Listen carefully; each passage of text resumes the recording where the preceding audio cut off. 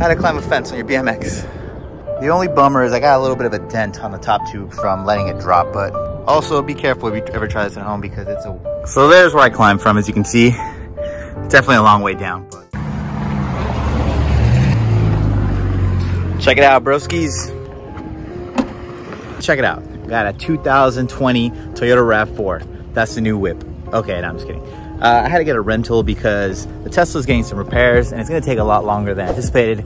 So I got that for the week. Since everything seems to be getting closed again here in LA, even though they said they're gonna open back up, I'm in the city of South Gate at my original stomping grounds. I uh, grew up in Watts, California, which is not too far from here.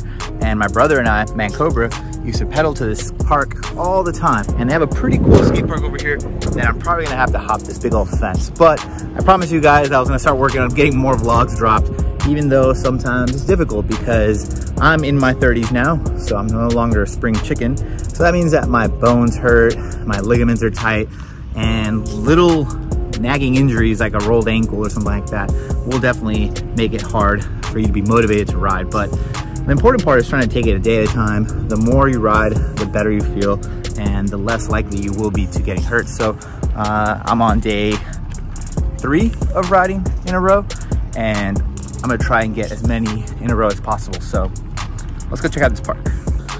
Man, the whole thing is shut down. And this fence is not the easiest to climb, if I recall. I don't remember how I used to get in here.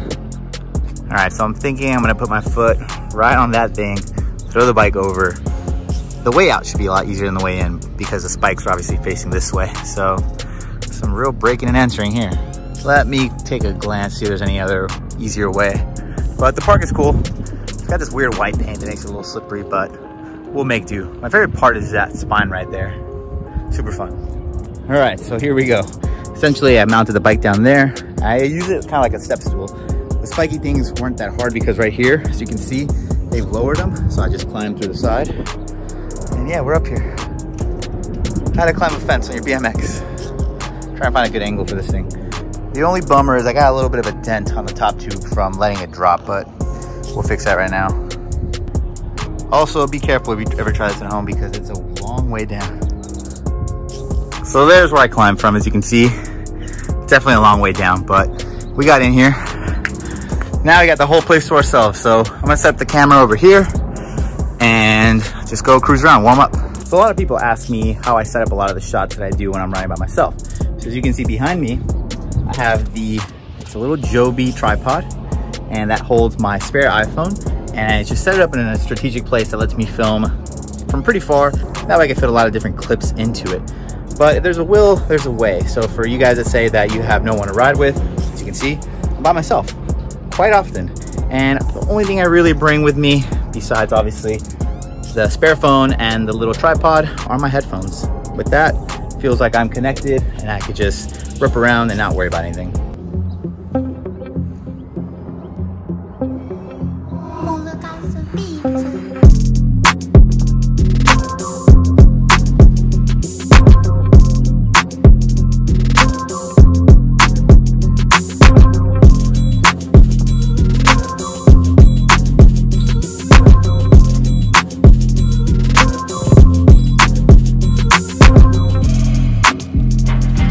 Took one or two laps. I am sweating.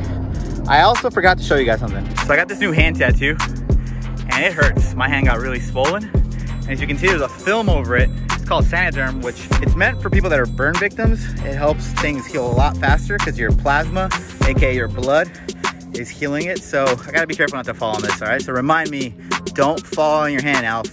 So on the street side of the park, as you can see, that's the bowl side of the park. This is more of the street side and there's a little box jump right here. I wanna overgrind this rail and then jump this box jump. So I'm gonna set up the camera somewhere over there.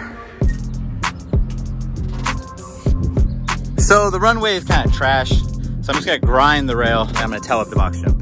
Probably won't look the best, but you'll know what happened.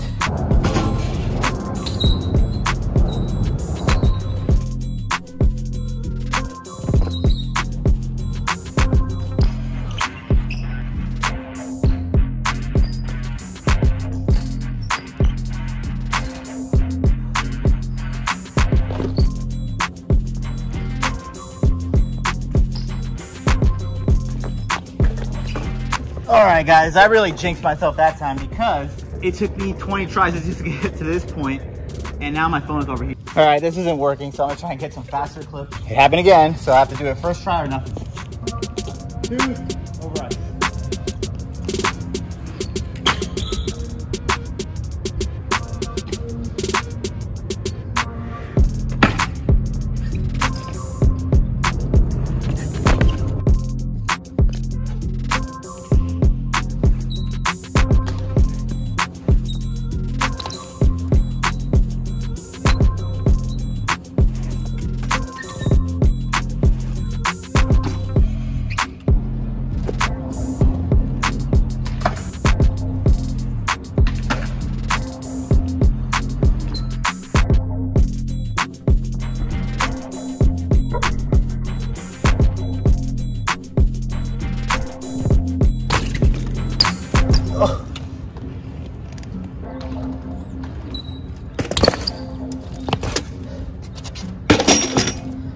To count how many times my phone overheated. It's 100 degrees, I think.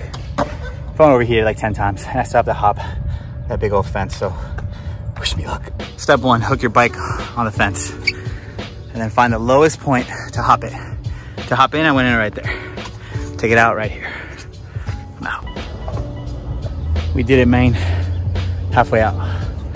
Oh, it's hot. I don't even know what this says. No skating or biking. We're out. Out was harder than in because a spiky thing hit me in the stomach. So I had to hold my whole body weight up with my hands. Oh, not recommended. So prior to the pandemic, it was already hard for BMXers and skaters to get around. If you're riding the street, you get kicked out by the police or security. If you're riding in the skate parks, usually bikes aren't allowed. So we're already pretty trained at having a break and entering.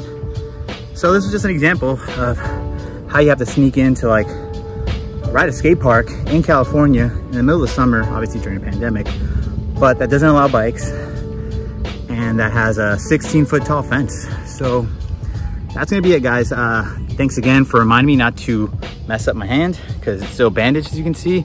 Also that was no handed so I almost crashed, which would have been counterproductive to what I asked earlier.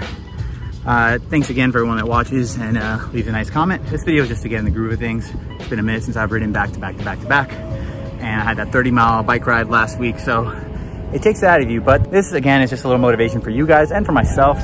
We are all in this together.